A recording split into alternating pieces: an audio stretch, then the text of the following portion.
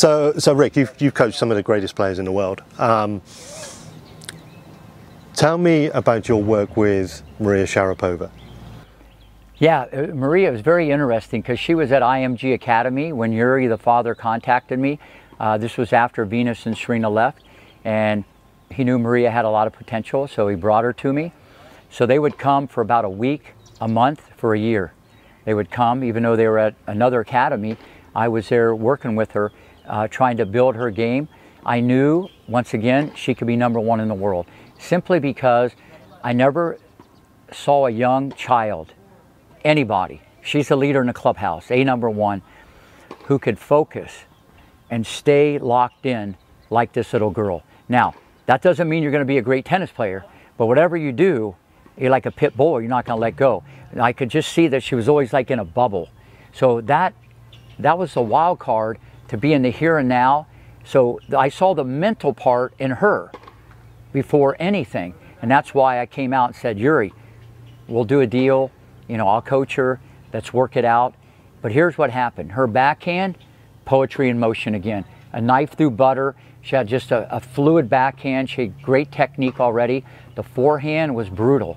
And when I say brutal, I mean it was bad. Okay, the elbow came in, it came across. She hit side spin like Capriati, but she was very inconsistent. Okay, the forehand would be her Achilles heel or her downfall to make her become great. 50 in the world, maybe on the horizon, because she mentally was good. Uh, she wasn't going to be the best athlete. She was going to be tall, but I told Yuri, we got to cha- we got to do something about the forehand. So then I had her hit left-handed forehands. Now this is crazy. You want to talk crazy? We all agreed, and I got the tape of him talking in Russian and feeding her balls. She was going to play left-handed. We switched her to play left-handed and she was already halfway decent right-handed because when she did it lefty, poetry in motion, knife through butter, silk as can be. It was like she was a lefty. And I said, listen, you messed up. You should have done this when she was born, figure this stuff out. But then on the flip side, now her backhand looked all disjointed. And so we said, okay, we're going to go lefty. So we stuck with switching the left hand, and it's in my book, Macci Magic, about this. We switched her to left hand. And the thing about it, she was all in, okay? And then uh, as time went on, okay, I think she already had a re relationship with IMG, a management company. They didn't want her to switch, and they all came down to the academy and talked Yuri out of it. So she went back to right-handed, and we did the best we could. And if you see what she does, she did this a lot. That means she's getting more vertical component. That means you're going to have more topspin on the ball. Because when she hit it flat, she would make too many errors. We just couldn't change the technique. But you see even see her on the Pro Tour, she would hit the ball like that a lot, but she'd make it. She'd still have enough penetration, but she'd have the spin on the ball because the racket was going up the back of the ball.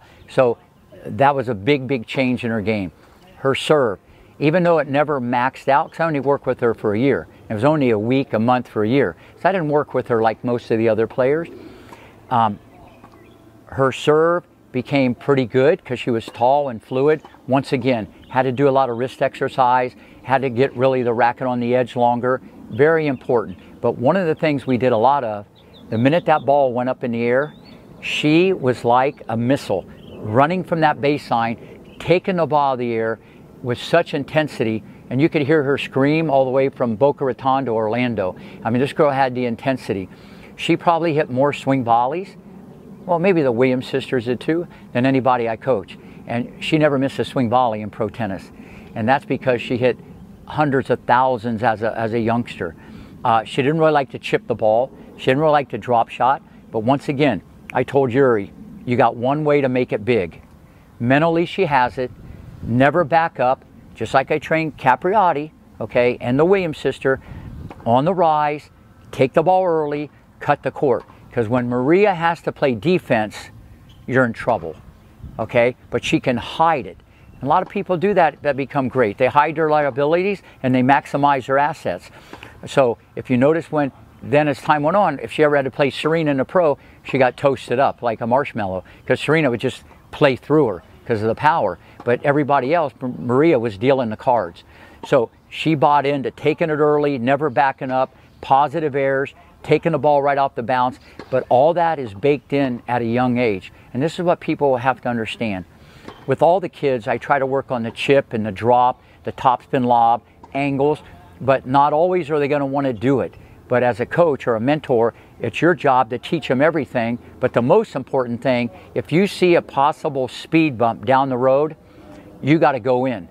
And with Maria Sharapova, both her dad and I knew the forehand was a big, big issue to the point that we were going to teach her to play left handed.